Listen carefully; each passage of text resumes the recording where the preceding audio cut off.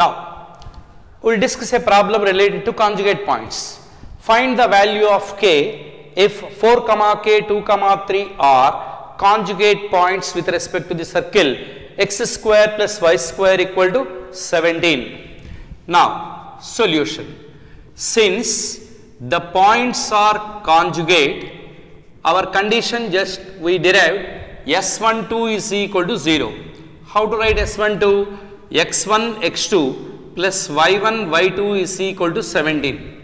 Now this is x1 y1 x2 y2. Substitute now x1 x2 4 into 2 plus k into 3 is equal to 17. Now 8 plus 3k is equal to 17. 3k is equal to 9 because 17 minus 8 is equal to 9. k is equal to 3. So the value of k is equal to 3.